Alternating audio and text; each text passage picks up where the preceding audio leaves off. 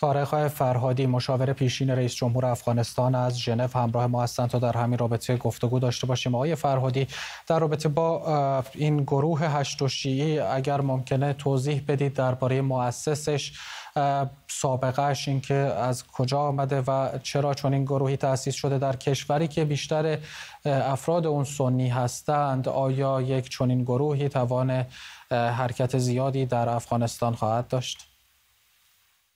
درود بر شما. فرقه سنی و شیعه در افغانستان از اول از آوان اسلام با هم در آمیزش زندگی کرده هند. حتی بین سنی و شیعه ازدواج های هم در افغانستان وجود دارد بعد 27 سال قبل در جریان جنگ های داخلی افغانستان حالات اسفناک صورت گرفت که فرقه های سنی و شیعه با هم در کابل در جنگ شدند. و بعدا طالبان آمدن و همه جا را تسخیر کردند و این تاریخ. الان جنگ در مقابل طالبان داغ است در افغانستان و وزیر خارجه ایران چند ماه قبل در یک انترویو گفت که ما می توانیم که پنج هزار فاطمیون و خدمت حکومت افغانستان قرار بدهیم افغانیان که در سوریه جنگیدند که اینا در مقابل طالبان بجنگند. و بله حکومت در این شب و روز ضرورت زیاد به جنگجو در مقابل طالبان دارد. اما خطرات زیاد است اگر جنگ ها شکل فرقه‌ای به خود بگیرند در افغانستان. به دلیل اینکه بعدا معلوم نیست که به کدام طرف وضع روان خواهد شد و پس از جنگ با طالبان و در جریان جنگ با طالبان امکان خشونت زیاد هست. این شخص در عراق برای سپاه جنگیده ولی امروز در کابل گفته من از این خبری که در این روزنامه برآمده مطلع نیستم.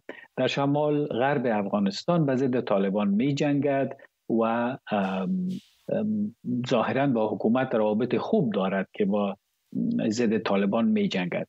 مسئله مهم این است که اگر این گونه گروه ها ضد طالبان فعال می شوند و ضرورت هم هست فعلا باید در قالب نیروهای دولتی باشند یا به یک شکل از اونها فرمان برداری کنند. به خاطر که اگر این گونه گروه های فرقه شیعی یا گروه های دیگر میلیشیایی فعال می شوند بعد امکان دارد که حتی یک روزی به ضد حکومت بجنگند یا برای منافع شخصی خود بجنگند. خب آقای فرادی حالا این بحثی که شما اشاره کردید به آمیختگی شیعه و سنی در افغانستان اشاره کردید و تاکید کردید بر اون آیا حضور چنین گروههایی اون هم مسلح و برای نبرد با طالبان ممکنه که این پتانسیل رو به وجود بیاره که مناطق شیعه نشینی اساسا به شکل مجزا در افغانستان به وجود بیاد با وجود اینکه طالبان هم داره پیشروی می‌کنه در سمت دیگه.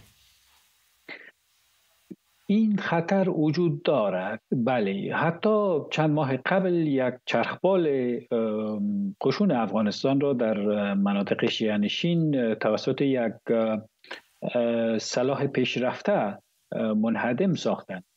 و این خطر وجود دارد ولی مربوط می شود به بزرگان هر دو فرقه که نگذارند که در حقیقت یک انشعاب بین مردم افغانستان با وجود بیاید بین شیعه و سنی.